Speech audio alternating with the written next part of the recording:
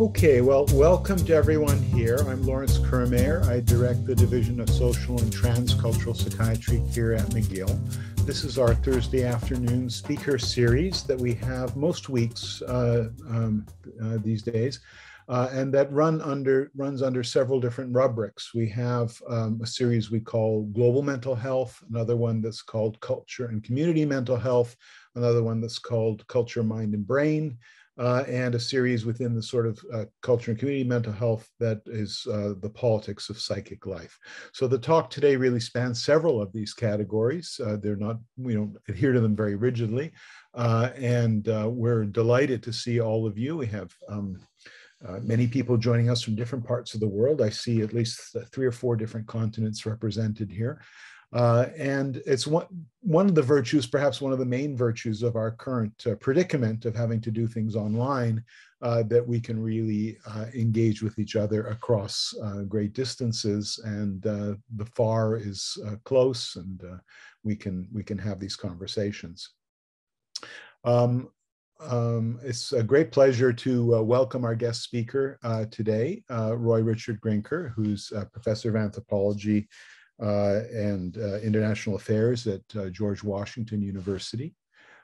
he is an anthropologist who's worked in East Asia and Korea and, and other places and has had a long-standing uh, interest and commitment and involvement in issues of mental health and uh, understanding of, of stigma.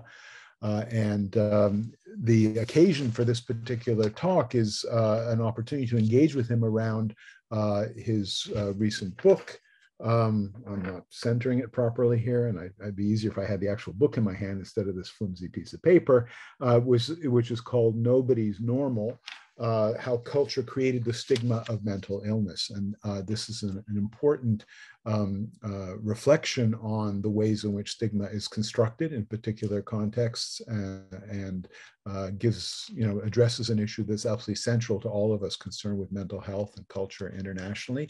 Uh, I was just, he was just mentioning before we began that the book has now been translated into many languages including uh, Turkish and uh, Portuguese and uh, several other languages that are uh, relevant to the people here with us today. Uh, so we're absolutely delighted to have this chance to um, learn about this work from him and have it, discuss it with him. The usual format for these talks is 45 minutes to an hour of a presentation and then a good hour of discussion. We're a large group today. So uh, for the discussion, what I would suggest is that if you have comments or reflections as we go, uh, that you put them in the chat uh, and uh, we, we can then look at those uh, when we get to the question period and maybe pick some of them. We'll see how many people are here. It's not going to lend itself to people just um, you know, speaking out.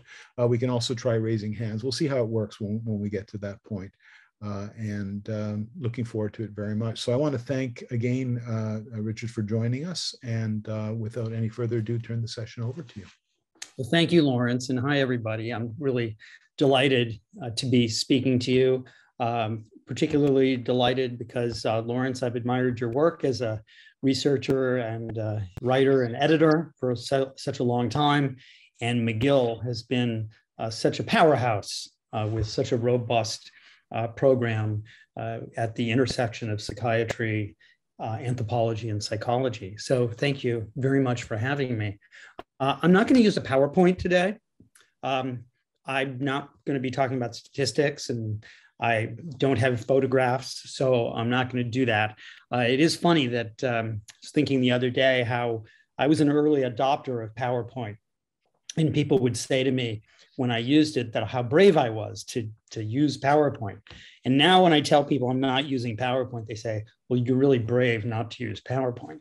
Uh, so I don't know if it's brave, but uh, I, I, I, prefer only using it when really necessary uh, and uh, not to have phrases up that I need to repeat. Um, but if anybody ever does have any questions about something, um, my email address is pretty easy to find. Um, for, Laurence mentioned that I've worked in a number of different places in uh, the uh, Democratic Republic of Congo, um, South Africa, South Korea, Namibia, India. Um, but for nobody's normal, I really was focused more. They're drawing examples from other places, focused more on uh, European and American history. Um, for nobody's normal, I turned first to my own family. My great grandfather was a psychiatrist and practiced psychoanalysis briefly uh, between 1909 and 1911, very, very early.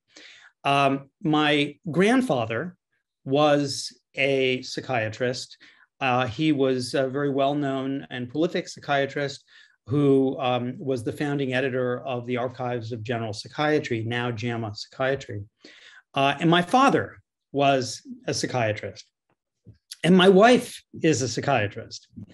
And I have a daughter, Isabel, who is uh, 29 years old, diagnosed with autism when she was a little more than two years old and was non speaking. So, I, I, my entire life, I've really been uh, surrounded by discussion and debate around uh, mental health.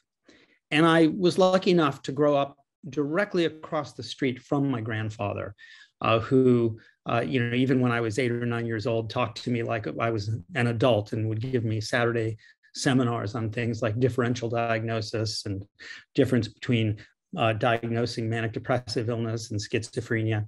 Um, despite living in very different times, all of my family members taught me the same thing that mental illnesses are a double illness. First, the ailment itself and second, society's negative judgment. And this double illness, my family and even current experts have insisted was the real crux of understanding the treatment gap the lack of treatment, difficulty of gaining access, difficulty of people talking about mental illnesses, about the shame and the secrecy that has for so long shadowed them. And rather than write a book about what's wrong, there are books, many, many books about what's wrong with psychiatry, what's wrong with psychiatric diagnosis, what's wrong with the DSM, um, many, many books like this. Uh, Tom Insel's new book, um, I haven't finished it, uh, is about what's wrong and you know why people aren't buying what he and psychiatry are selling. Um, I wanted to write about what has happened that has been helpful and what has happened that has made so many mental illnesses and basically disabilities in general move from being something shameful and frightening to something that is increasingly understood as part of what it means to be human. You know, if we think about autism, for example, you know, once a very narrowly defined condition, uh, considered devastating, but it now is no longer the narrowly defined condition that's devastating. It encompasses an enormous range of variation that includes great suffering, but also strengths and skills. We've changed autism from something enigmatic into something that we understand. And with the help of Asperger's, which I think served us well uh, for the time it existed, um, autism became a much less stigmatized phenomenon. And we can all uh, find in our own experience examples of this. For me, the most salient one is uh, the example of my daughter when she graduated from high school. She was the first uh, kid from the high school with a disability to ever give a graduation speech. And um, we, um, you know, practiced with her and, and so on. And she went to, to do the speech, and there were 3,000 people at Daughters of the American Revolution Hall across the street from the White House. And uh, when she started to speak, she had her kind of sing song voice, odd rhythm, um, odd use of, of language. And most of these people didn't know her. She'd been in pretty much self contained classes, and you could hear them whispering. And some kids were laughing, um, and they were talking to each other. They were trying to make sense of who she was. Murmurs whispers, those are the sounds of stigma. And then she got to a part in her speech where she said, People like autism, or people with autism like me. And the room just quieted down. Why? Because she had used a framework that they had all learned to understand And now she was no longer bizarre. She existed within a framework that they not only knew about, but had come to respect. And so, I mean, we can add to this as well the fact that she was advocating for herself. And we see this kind of advocacy over and over again. I mean, I'm thinking of the student with Tourette's who stood up in front of the class at G, you know, intro class with uh, 292 students who said he had Tourette's and wanted to let the class know that he had Tourette's so that they understood why he might blurt out something that might surprise them or be, you know, at the wrong time or maybe even offensive. Or the student I had with ADHD who told me that getting diagnosed with ADHD was the best year, best thing that happened in her freshman year because for the first time somebody saw that she wasn't lazy, uh, that she wasn't stupid. So the question I ask in this book is that if there are indeed important advances in reducing stigma and increasing access to care, what are the variables that led to it? You know, what are the variables that change stigma and how can we stay the course?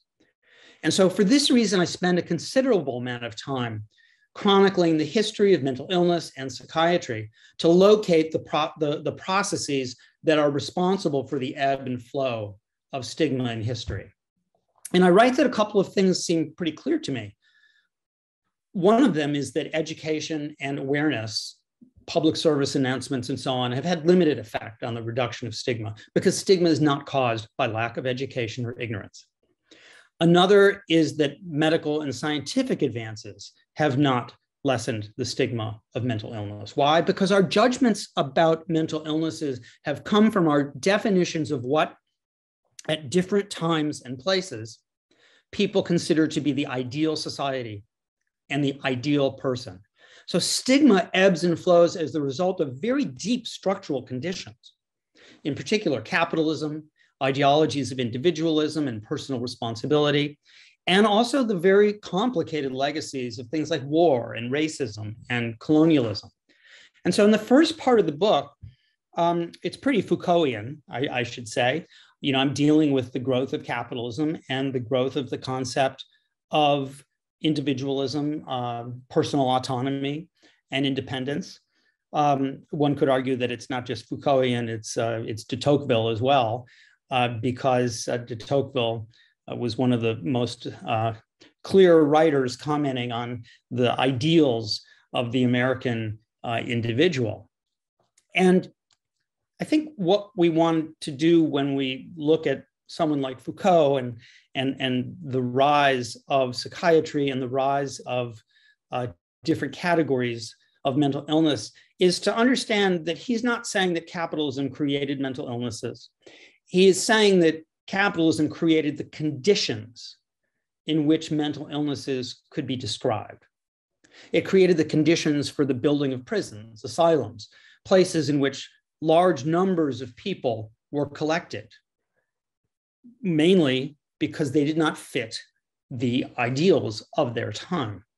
In a society that was increasingly urban, we're talking about late 17th century, early 18th century France, in a society that was increasingly urban, in which people were being um, marginalized from their customary rights to land, in which extended families were breaking down into smaller units, you have a situation in which uh, the person who was really uh, to be criticized and disciplined was the person who didn't produce, the person who didn't work, the person who did not conform to the ideals of individualism and autonomy.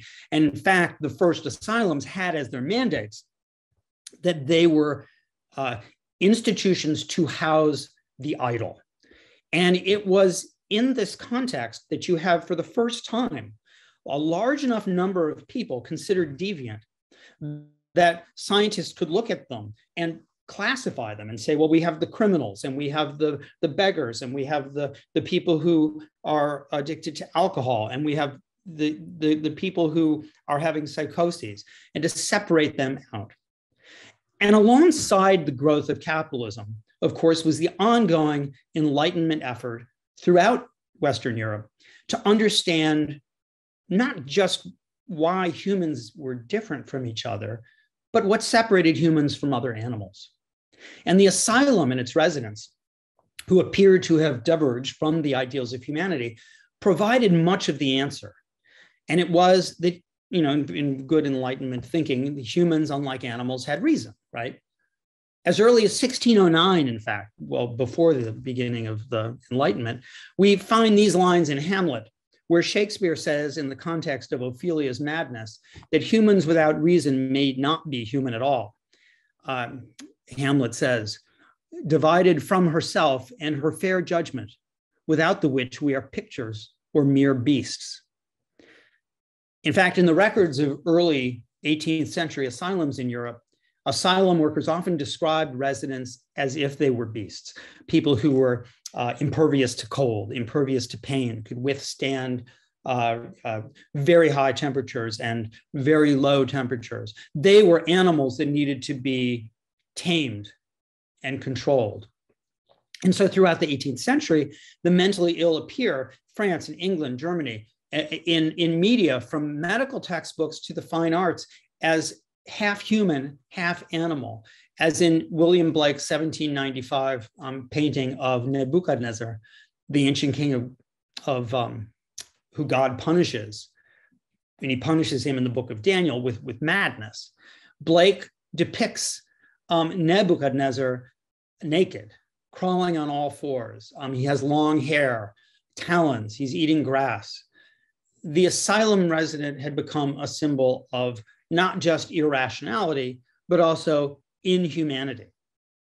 And similarly, physical deformity also suggested a predisposition to animality and mental disease because a malformation of the body was typically visible to all and because there was no yet clear separation between body and mind, the deformed individual was likely also insane. We see this again in Shakespeare in Richard III, when Richard, who has a curvature of, of the spine, tells the audience that he is both a physical and mental monster. Um, given the dominant beliefs at that time that one's criminal tendencies were inscribed on the body, people varied in how they viewed this. Scientists, some said, you know, certain the second toe had this malformation, the eyebrows, the nose, the lips, and so on. Uh, Shakespeare certainly intended Richard to be fated by his nature, and Richard says, "I am determined to prove a villain." Control of the body was also crucial to the control of deviance, and in some communities, like the Puritans in the American colonies, um, anyone without reason, whether it was a baby, which had no reason because it was a baby, or someone else, uh, was an animal that required appropriate discipline to be integrated into the social order. So that Puritans often put babies in wooden go karts to keep them from crawling because animals crawled, humans didn't crawl. Uh, employed neck stays to keep a baby's uh, head upright. Sometimes put wooden rods on toddlers' spines to try to encourage them to have a fully human erect posture as early as possible. Even Rene Descartes' argument that the, the mind and body were different um, perhaps unintentionally exacerbated the suffering of many people with mental illnesses. Uh, in saying that the body and mind were distinct, he was in effect giving the elites um, and elite scientists an excuse for controlling the poor. Because if the body and mind were separate, scientists reason, then perhaps elites were driven by their minds, but the uneducated peasants laboring in the fields or in the factories, they are the ones that are driven like animals. They're driven by instinct and appetite. Hence, authorities would have little compunction punishing the bodies of the poor when they didn't do what they were supposed to do, or even when they uh, committed minor crimes. Um, for this reason, again, we're going back to Foucault, discipline is administered against the body rather than the mind. And as one result of this objectification of the body of the lower class worker, during much of the 1700s in England, there were well over uh, 125, 130 crimes for which a person could be executed. And the countless people who were executed in England were often referred to in uh, scientific writings and in um, uh, uh, juridical writings as dead commodities dead commodities, people who were the casualties of both punish, capital punishment and the punishment of capital. Uh, witch hunts also show us another way in which the body was the site for the growth of, of capitalism and capitalist discipline. Witch hunts, for example, um, were a form of bodily control that were crucial to the development of capitalist societies during the time of enclosures when people were cut off from their rights of access to land.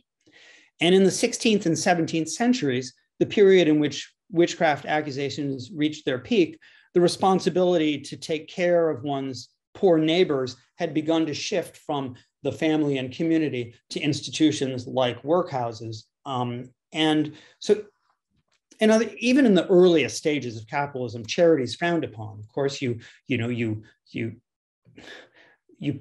What happened is that witchcraft kind of pitted the elites against the poor and men against women, neighbors against neighbors. You refuse a poor elderly woman, a widow maybe, who asks for food.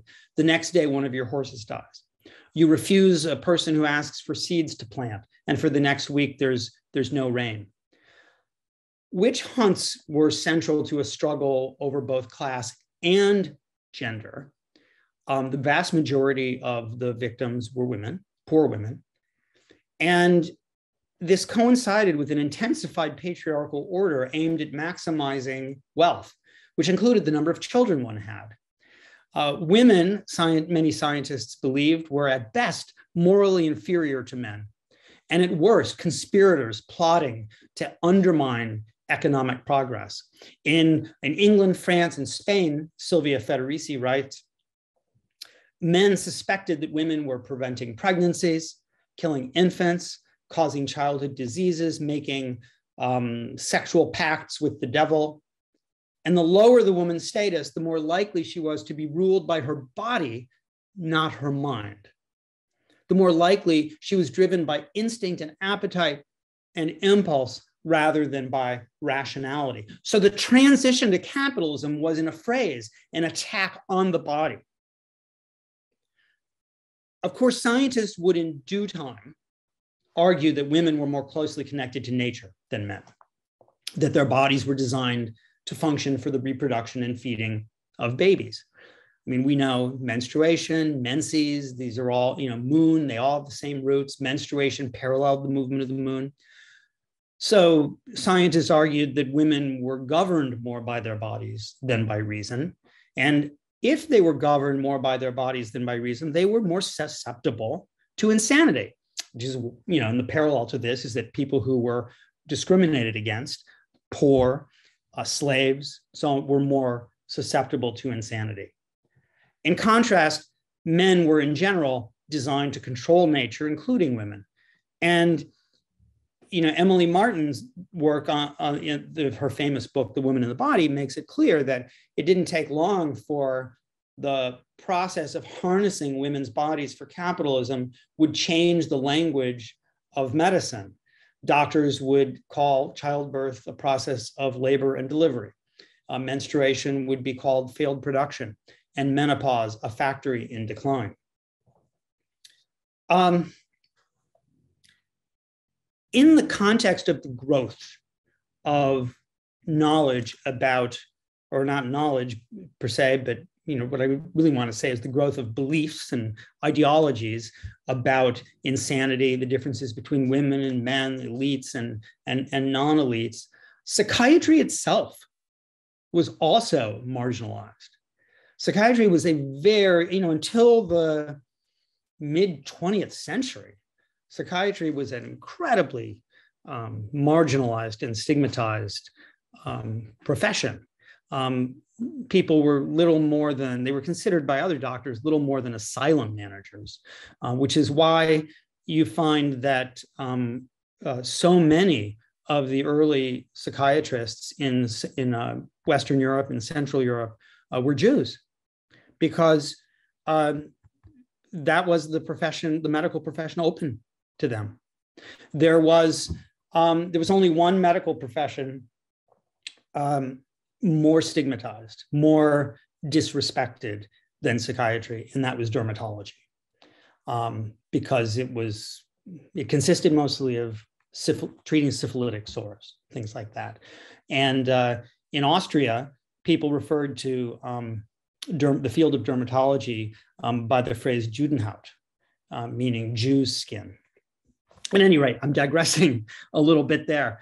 Uh, this in, in, in the emerging views of mental disturbances, doctors encourage people to study the body and behavior of even the most common and private bodily actions to find out what those, those, those uh, bodily functions or those behaviors could tell us about the functioning of the mind. This is all part of, of, of shaming and discriminating certain groups of people as more susceptible to the forms of deviance that were increasingly being uh, encapsulated by terms like like idiot and ins- insane and feeble-minded and so on in this sort of emerging uh, nosology of mental illnesses. And sex was a special curiosity uh, because doctors believed that the sex organs held the key to understanding and treating mental illnesses. And masturbation, pro- mostly because it's an you know was considered by doctors an asocial act. Uh, sex should be social, not asocial. Um, w- was was aberrant and was quite open to being politicized. Writing in 1854, a French physician named T. Parvin did not think he was exaggerating when he said, and I'm going to quote here neither the plague, nor war, nor smallpox, nor a crowd of similar evils have resulted more disastrously for humanity than the habit of masturbation. It is the destroying element of civilized society. Quite a quite a statement. Um, you know, at the same time, linked to this, scientists are also um, uh, using as a kind of intellectual scaffolding the differences between men, the sex differences between men and women. Um, if any of you are familiar with the wonderful work of the historian Tom Laqueur, Thomas Laqueur, um, in his book Making Sex, um, uh, you know, you will know that until the late 1700s, uh, European um, anatomists believed that there was just a single sex male and two expressions of that single sex, one of which was women and, and the other men. And that the, the the increasing push to see the world as divided uh, not into men and women, but into male and female, uh, gave impetus for doctors to study the genitals. They became a focus of study because they could indicate differences in mental temperament, in cognition, in emotion. By the early 1800s, according to most historians, in moral discourse, there was hardly any overlap between the emotional, uh, fragile woman or female and the active, rational, resolute male. Woman in this two sex world, Laqueur says, but we're now constructed as other in more absolute sense than ever before. And if you you just have to look at the asylum statistics to see the, the that the majority of residents in the 1800s in France and in England um, in the asylums and in the US too were women. The separation of male and female made it easier for experts to fix stereotypes of femaleness, including a tendency to equate women with mental illness. In 1798, the philosopher uh, Pierre Jean Georges Cabanis claimed that because women appeared to be physically weaker and tended to have a smaller brain volume than men, even when corrected for men's larger body size, their health was always at risk. And a woman should therefore be confined to the home where she is best, I'm quoting here, quote, best equipped for the care of children who, like her, are of underdeveloped reason and destined for confinement. Cabanis was certain that unmarried women were at even greater risk for dementia and idiocy, and that marriage itself was like an asylum that protected women from mental diseases. You know, just to kind of hammer home how much emphasis there was on, uh, on, on sex and women um, as being linked to mental illness. Um, Freud uh, believed with his um, close friend Wilhelm Fliess in the nasogenital link that the mucous membranes of the nose were related to the mucous membranes of the genitalia. One of most one of Freud's most famous dreams in the interpretation of dreams is called the Irma injection dream. That dream is the dream he had when he um, escaped, uh, not escaped, but he he was he thought that his his patient who had been operated on by, by Fliess was going to bleed to death from her nose nasal surgery. And instead of staying in Vienna, he went skiing or he went to, to St. Moritz or someplace like that. And he had this dream. Freud had his own nose operated on. Um, and then, um, of course, there is the, you know, the, the, famous stories of the invention of the graham cracker, uh, a bland, uh, uh, food that was said to um, limit masturbation, and the Kellogg brothers, um, who eventually would start cornflakes, who invented a, a, a, a, um, a substance of dried oats and uh, other, other dried grains, which they um, tried to call granula, but somebody had copyrighted that and that became granola. So that's where we get the term granola from. Uh, these are all aimed at preventing the mental illnesses caused by masturbation. During the 19th century, debates about confinement of the mentally ill also intersected with debates about a different kind of confinement, slavery. Um, it's a really interesting thing to look at how, how pro slavery advocates from a range of professions in the United States argued strongly against emancipation and tried to marshal scientific data to support their views that women and slaves were uh, susceptible to insanity if given too much freedom and responsibility. Um, Pro slavery economists, for example, believe that emancipation would have drastic consequences for the American economy. Um, philosophers and religious leaders argued the enslavement of so-called inferior races was a natural institution that shouldn't be abolished. But when it came to doctors, they argued that African uh, that uh, slaves were prone to insanity because they could not constrain their impulses and instincts, and that slavery provided a structure to prevent that loss of control.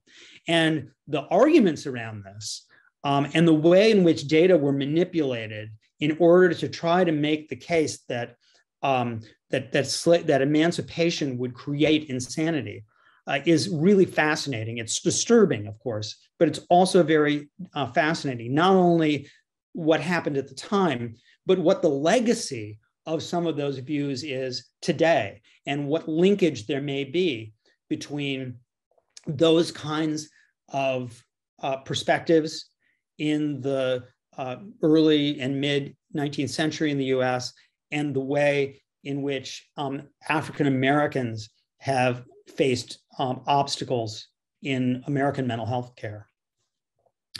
So, so a lot of the book deals with these historical processes because I am arguing that that stigma is not something that's simply the result of us not understanding something or a lack of education, but it is a complex set of intertwined processes, deeply structured in the history of, of uh, European, North American medicine, philosophy, and social science.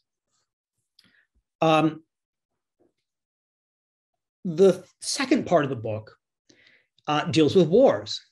Why wars? Because I'm making the argument there that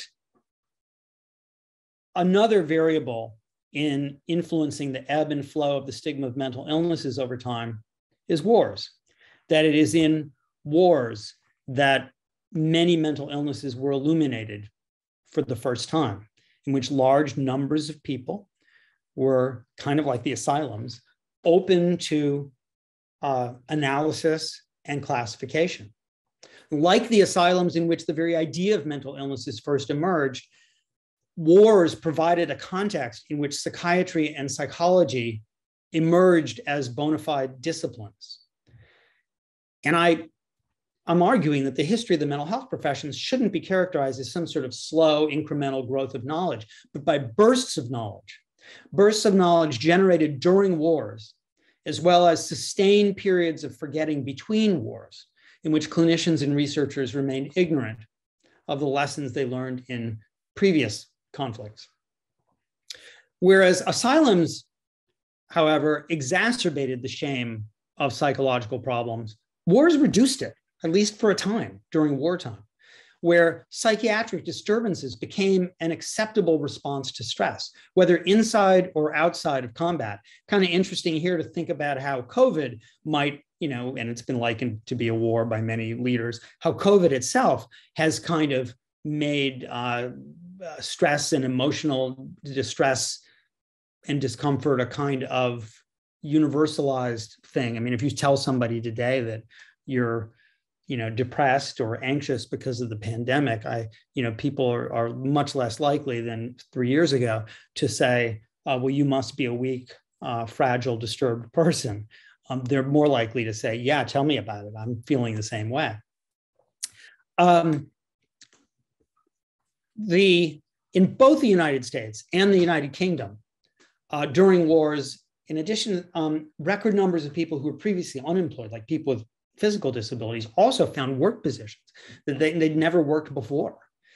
Um, so wars, I'm not, you know, this is a very difficult thing to say. No one wants to be an apologist for wars. But what I am saying is that wars are not just aberrations. Wars are productive in the sense that they build on pre-existing um, social, economic, political processes. They are, um, as Peter Barham has written, you know, part of the fabric of history. They're not just aberrations. Um, in a pattern repeated throughout the 20th century, wars show uh, uh, uh, a decrease in the stigma of mental illness, both in the military and outside. And then in, the stigma gradually returns in post war years when the economic costs of chronic mental illnesses strain budgets, when people with mental and physical disabilities have to yield their jobs to veterans. Um, and that's a difficult pattern to break.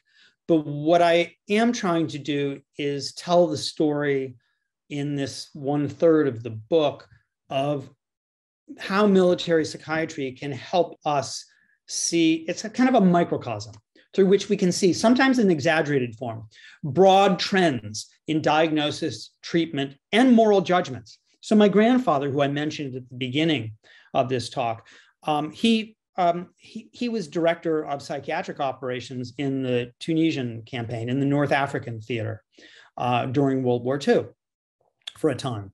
Uh, a little over a year. He was the director of their psychiatric operations. So he's stationed in North Africa. And he and his colleagues realized for the first time just how common mental illnesses were, how stressors that, that originate outside one's body can cause emotional problems, that we needed to train more doctors to be psychiatrists. And more importantly, this is the really great um, advance of World War II, um, that meant for psychiatry that mental illnesses were treatable outside of asylums and hospitals and even through short term therapy.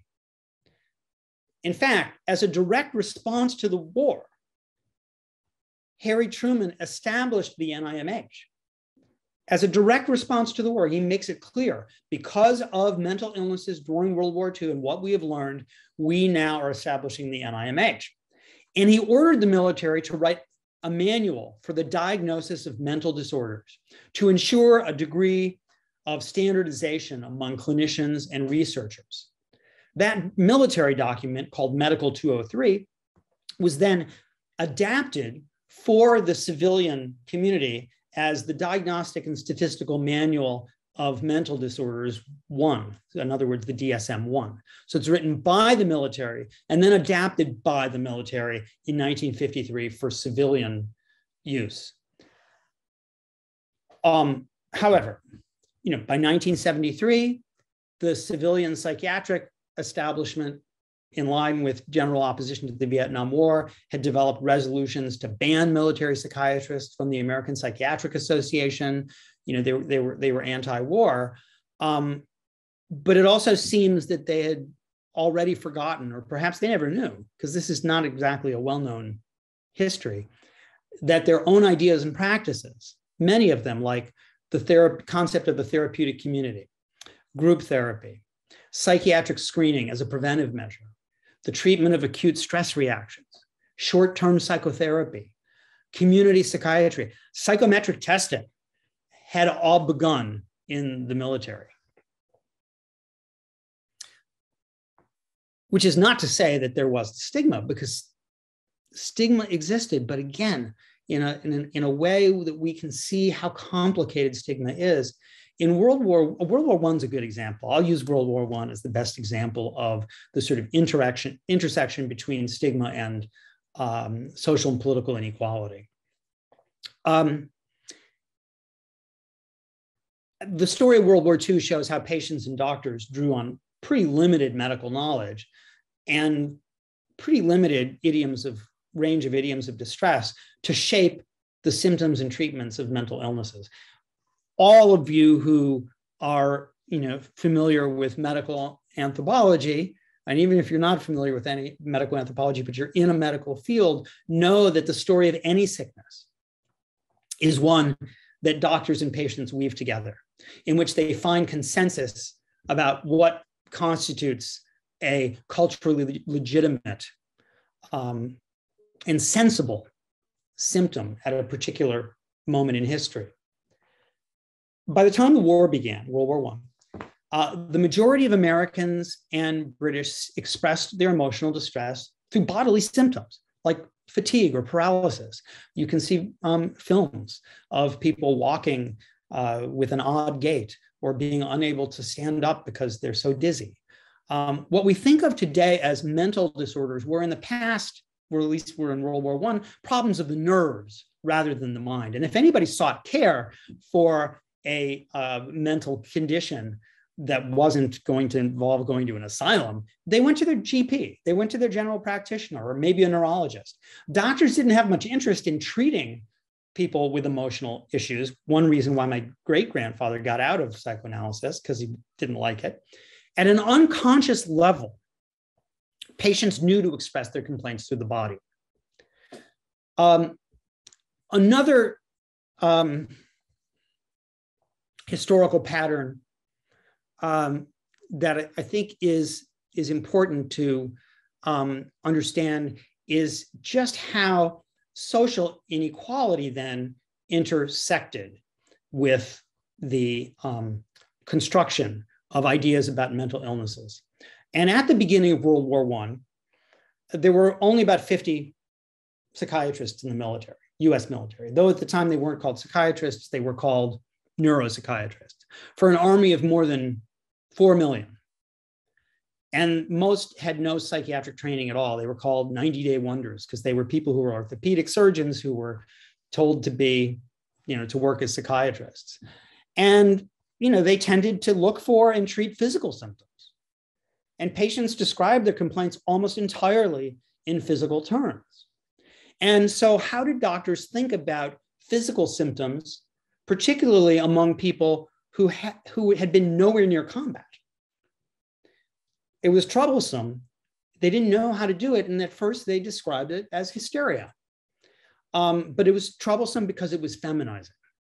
Anthropologist and psychologist Charles Myers was one of the first scientists to realize the great symbolic value of changing the name of the diagnosis. Patients had invented a new term, shell shock likely as a way to interpret their symptoms biologically rather than psychologically, and to reaffirm their sense of manhood and decrease the stigma of being feminized. Well, Myers uh, reasoned that since the war was linked to masculinity and masculinity and insanity, insanity were linked to the ability to control one's feelings, shell shock should replace hysteria. And the term took off.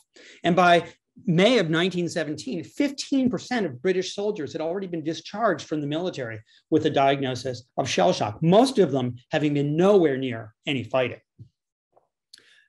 Um, so a lot of these soldiers got diagnoses of shell shock. Well, what about women? Women did not get diagnosed with shell shock because they weren't seeing combat in the same way that men were seeing combat. Mean, if they were diagnosed with something, it was hysteria, and they were immediately discharged from the war. Officials in France, in Belgium, England, and the US considered women of less value than combat soldiers and made very little effort to retain them. In addition, when doctors thought about war trauma, they didn't think about interpersonal trauma that occurred outside of combat, like the trauma of witnessing the effects of warfare, um, like in hospitals, uh, in at, at graveyards. They did not include interpersonal trauma that occurred outside of combat, like sexual violence. Yet women were exposed to just as much violence, if not more, than men. All of this, more confirmation of how social inequality underwrites the history of the stigma of mental illness. Both diagnosis and psychiatric symptoms varied according to social status and military rank. So if you were an enlisted man in the British or American Army, you were much more likely to experience gross bodily symptoms like paralysis, mutism, and deafness. If you were of higher status, you were more likely to experience um, your emotional distress in terms of fatigue. Many officers had the same symptoms too, but the higher the rank, the more likely they had the features of, of, of neurasthenia, like insomnia or fatigue, that were associated with mental disturbances among elites in civilian life. And in England, the class system often eclipsed compassion. So um, words like um, malingering and hysteria were used for lower class soldiers instead of shell shock to characterize their symptoms. So hysteria was used in already continued to be used in populations that were already marginalized, like working class soldiers, Jewish soldiers, Irish soldiers, colonial subjects like West Africans. Class also influenced the way shell shock was described in Germany and France. In Germany, hysteria was more frequently used as a diagnosis for working class soldiers whose impairments were evidence of them becoming what, what the Germans called work shy. In other words, diagnosis could reinforce your already inferior position, proving that your sickness perhaps was t- determined by reality. Uh, sorry, reality, predetermined by heredity. I'm sorry. In France, for example, uh, Didier Fassin writes, quote, the violent event made neurosis manifest, but it did not cause neurosis. The problem was with the patient, not the war.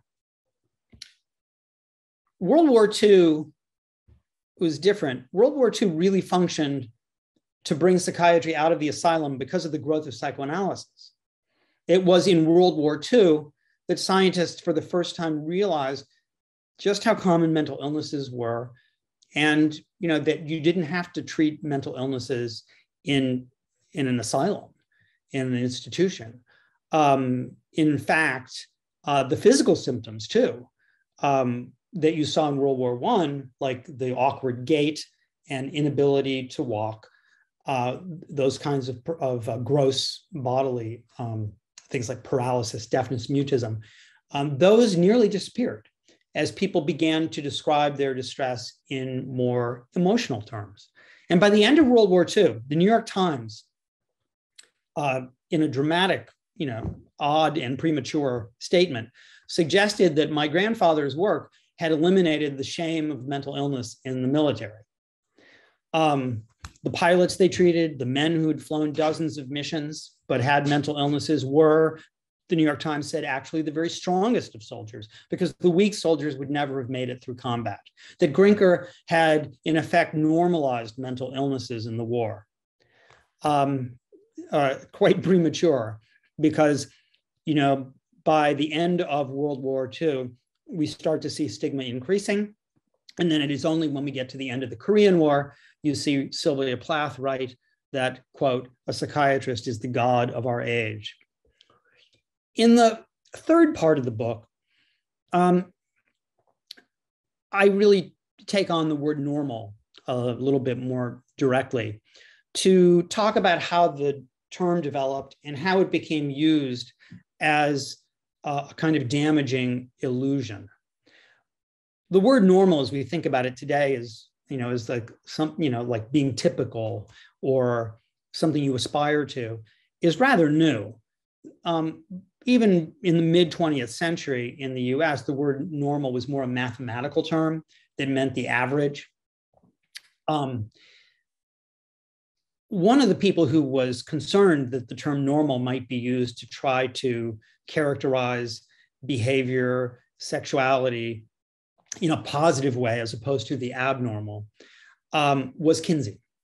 Um, and in Kinsey's work on sex, he tried really hard to impress his own perspective, saying that we should not be using normal and abnormal loosely in everyday language. They were simply poles that people were starting to use on a continuum of culturally variable attitudes. They did not belong anywhere in, uh, in, in science or in colloquial usage. But he wrote so much against the concept of normality that the historians Peter Cryle, Australian historians Peter Cryle and Elizabeth Stephens write that Kinsey's works were one of the main conduits by which the term normal actually moved into widespread circulation and it became more popular than, than before. And for the first time after Kinsey, normal becomes used by ordinary people, not just statisticians. And gradually, normal came to mean more than average. It became the ideal, something to aspire to. One re- reason that Kinsey's critique also failed to stop normal from becoming a household word um, that could be used to um, praise someone and stigmatize another um, was that his argument was based on statistics rather than, than sentiment. Um, you know, he, he found that uh, it was more typical than atypical, for example, for a man to have some homosexual experience um, in his life. And the way that um, Cryle and, and Stephens write, they say, quote, even if you prove something is statistically normal, like homosexual sex, what ends up being more important is what people already believe to be normal. And she added, even the most, even the best, they, they say, um, even the best and most heroic critiques of the normal don't bring that concept crumbling down. Uh, for my grandfather's part, he hated the word normal. He didn't like to use it. He, if he used it, he would say almost normal or something like that. He didn't like it.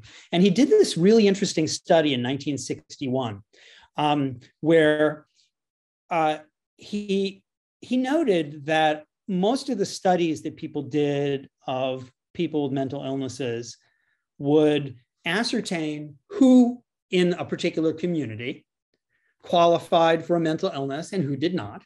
And they would remove those who did not meet the criteria for a mental illness and focus on the ones that did. Makes sense. You're studying mental illness, you study the sick people. But he said, what if we do the opposite? Let's look, let's let's get rid of the mentally ill people from our sample, and we'll look at all those people who actually do not meet the criteria and who are then quote unquote normal.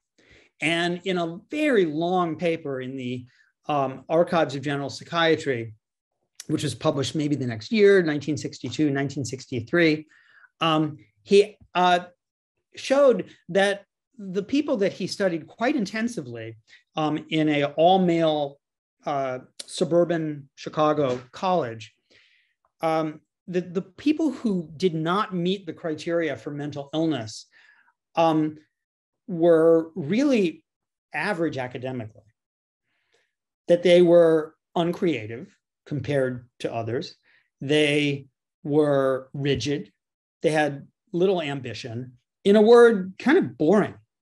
And he actually wrote in the archives the following question quote, Are the compulsive character and rigidity, the sharply focused and limited interests, the use of activity to maintain comfort, the absence of creativity, fantasies, and introspection. Are these the costs we have to pay for stability and mental health? It was an amazing thing to say, actually, and you know that early in the early '60s, because we're talking about you know, way before neurodiversity. And it was such an unusual question to ask that in the next sentence, um, he, he felt the need to tell the reader that that question was not a joke. Um, you know, this is decades before neurodiversity advocates urged us to appreciate the value of different kinds of cognitions, intelligences, and personalities before my students started wearing t-shirts that read, I hate normal. Um, my grandfather was suggesting, and I should say my father too, because he was a co-author, excuse me, on the paper. So my grandfather and father were suggesting that normality was crippling and that some degree of mental difference might be necessary for humanity to remain vibrant, creative, and diverse.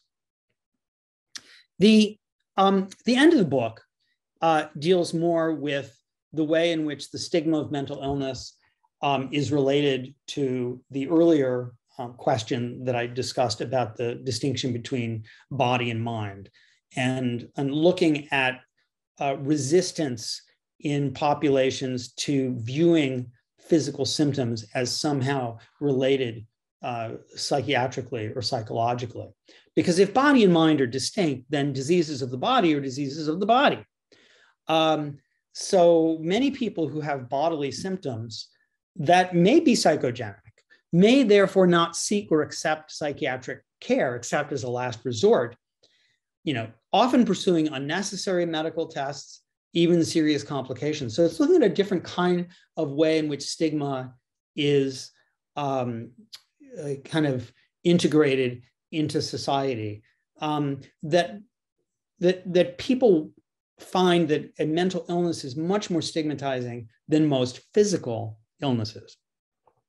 So if we think, for example, about the controversy over a recent condition called Havana syndrome, this is the syndrome in which um, uh, embassy workers from Canada, the US, uh, in Cuba uh, developed, um, I don't know if you call it an embassy, but uh, diplomats in, in Cuba uh, developed uh, a variety of symptoms of headaches, pain, weakness, fatigue that they suspected was due to some kind of um, uh, radio signal or microwaves that were being directed at them.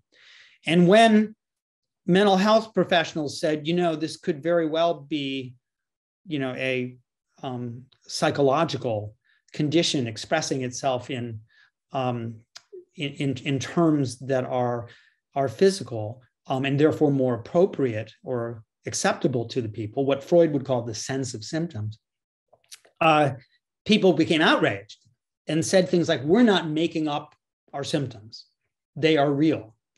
Um, there's, there are similar issues with a variety of contested diseases um, for which you know there continues to be a lot of debate, whether it's Gulf War syndrome or chronic Lyme disease.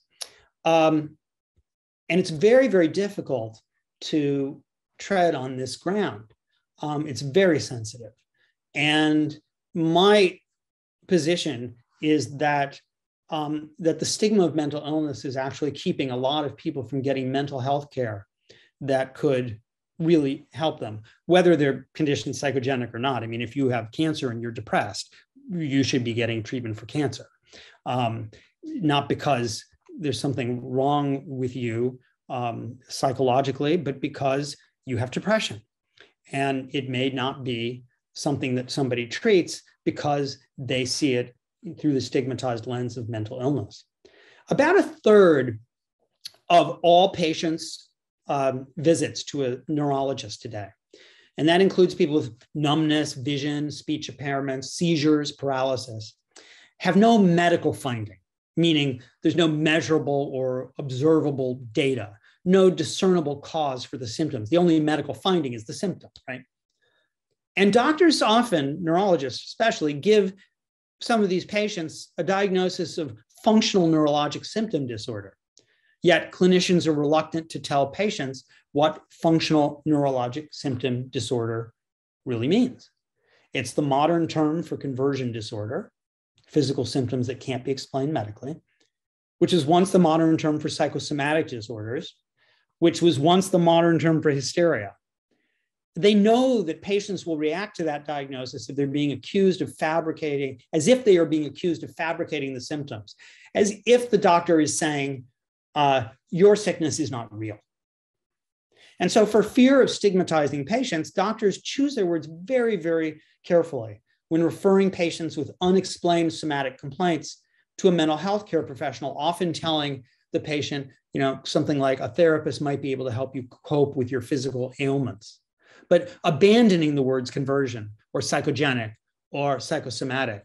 To further obfuscate the psychosomatic, a few years ago, the American Academy of Psychosomatic Medicine changed its name to the Academy for Consultation Liaison Psychiatry, the branch of medicine of uh, psychiatry that's concerned with the intersection of medical and psychiatric illness. And why did they make this change? Because of the stigma associated with the word psychosomatic. Yet many doctors have never even heard of the term consultation liaison psychiatry. And here's the problem the problem is that who knows how many people who suffer terribly from a range of physical conditions could benefit from treatment within the psychological professions. But patients and doctors often collude to separate the body from the mind, see the diseases of the body as real and those of the mind as somehow fictive even though that separation is the source of stigma and a barrier to mental health care. In fact, one could argue that in the United States, the process of medicalization, which we attempt to, to see things through the lens of medicine, whatever that uh, might be, um, encourages what doctors call somatization, that patients are comprehending physical complaints, including benign discomforts, as if they were physical diseases or potential physical diseases. And then it is entirely possible that doctors then exploit the financial incentives of the medical industrial complex to treat them. The reaction, and I'll this will I'll, I'll finish up very very soon now, of many leaders in psychiatry to the ongoing stigma of mental illness is to argue that if it is the case that the body is not as stigmatized as the disease of the mind. Why not recognize that all mental illnesses are biological and that they are illnesses like any other illness? If we can find out how mental illnesses, the biological, molecular, genetic basis of mental illnesses, neurological basis of it, maybe we will reduce the stigma because then it would be a neurobiological problem, not something wrong with you as a person. And the argument at first makes a lot of sense. It makes a lot of sense because the majority of people with a mental illness receive little or no mental health care. But the majority of people with broken legs, they'll get health care.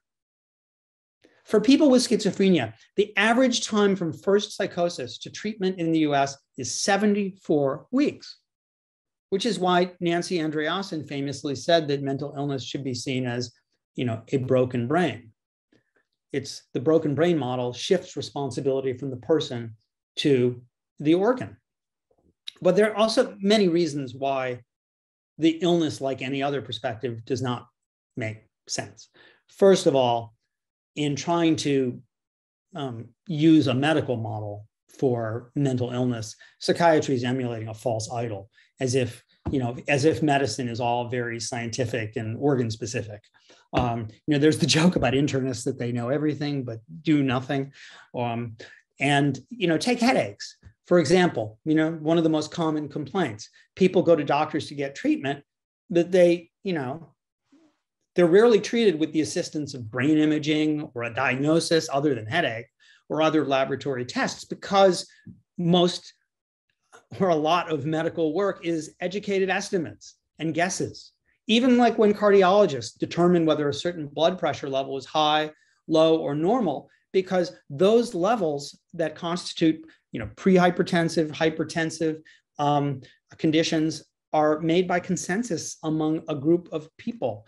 And psychiatric conditions may appear to us to be less objective or fact-based, only because psychiatrists yet haven't yet developed the numbers to fool us into thinking that they're more objective than they are. Um, I could go on and say more about this. There are many surveys that show that that the more throughout the world, uh, that show that the more people think about mental illnesses as neurobiological, uh, the um, the more they actually stigmatize mental illnesses, or at least that it doesn't do anything to reduce it. Uh, Bernice Pescosolido's famous study showed that from 1996 to 2006, the American public increasingly saw mental illnesses in general and depression, schizophrenia in particular, as neurobiological, but they wrote in no instance was a neurobiological conception associated with significantly lower odds of stigma. So we have a lot of work ahead of us in decreasing stigma, but we're, we're seeing a lot of progress. And a lot of that progress has come through um, very, very deep, again, you know, structural conditions that have nothing to do with somebody's intentional effort to educate or create a, a public service announcement or a new class in school. Uh, it ha- stigma is the result of the kind of person that we um, consider to be a good person. Stig- mental, the normal and the abnormal are variants of the good and the bad. And so, if we can change what we value, we're more likely to change stigma. So, if we can value the person who's the computer nerd or geek rather than see that person as weird or bizarre, we may actually be decreasing the stigma of um, of, of, autism.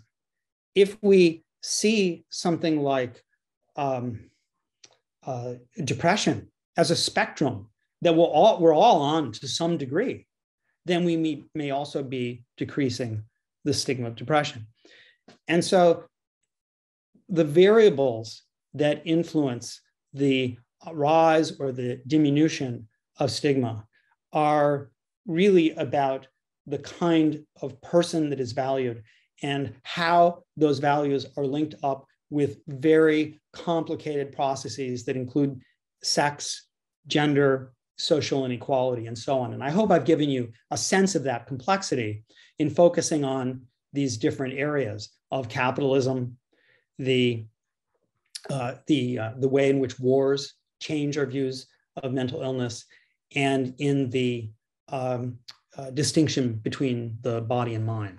And so I'll, I'll end there. Thank you.